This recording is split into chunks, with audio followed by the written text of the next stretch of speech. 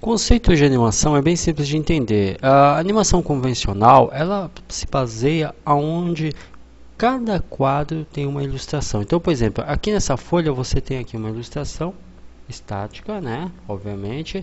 Porém, a sensação de animação ocorre quando você vai paginando as folhas, onde em cada folha você tem o mesmo desenho, porém com uma suave mudança. Veja, estou aqui é, no segundo frame, ó, FPS significa frames por segundo. Na animação convencional, se trabalha com 20 quadros por segundo, ou seja, seria equivalente a 20 folhas dessa aqui com o mesmo desenho ilustrado e sutis mudanças para você em um segundo ter sensação de animação. Olha só, ó, observa o dedo no gatilho do personagem. Só dá uma observada aqui na ilustração do dedo no gatilho. Ó, ele vai alternando, ele vai alternando Aí depois a mão alterna, a arma também, mas milimetricamente, mudando de posição, folha por folha. E aí você tem sensação de que? De animação.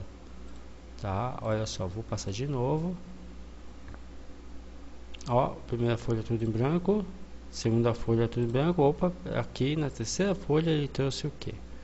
Ele trouxe a ilustração de alguém segurando uma arma. Aí, ó, o, a suave movimentação em relação ao dedo. Ok? E aí outra mudança não só em relação a esse dedo mas também em relação a este dedo tá? Então já são duas suaves mudanças. E a cada folha ele vai alternando suavemente olha só. E aí vai dando ares de animação. São 30 páginas dessa que em um segundo da sessão de animação. Ó e essa técnica é extremamente usual, tá? Antiga, tudo começou assim em relação à, era da animação e para o computador funciona da mesma forma, ou seja, a nossa linha de tempo, né? Então, a linha de tempo nada mais nada menos é do que como se fosse o registro, galera, é, de folhas, onde cada folha você tem a mesma ilustração, porém com uma suave mudança. Então, o mesmo conceito que você tem aqui em relação é, à animação convencional é aplicado na linha de tempo onde cada quadro é gravado por uma posição do teu elemento que você quer animar, tá? Independente de qual seja a natureza dele, modelo 3D, sistema de partícula, física, iluminação, sombra, etc. Independe, tá? Então, em cada frame você não quer gravar uma posição com uma suave mudança, e aí passando por esses frames da linha de tempo, você tem o que? A sensação de animação.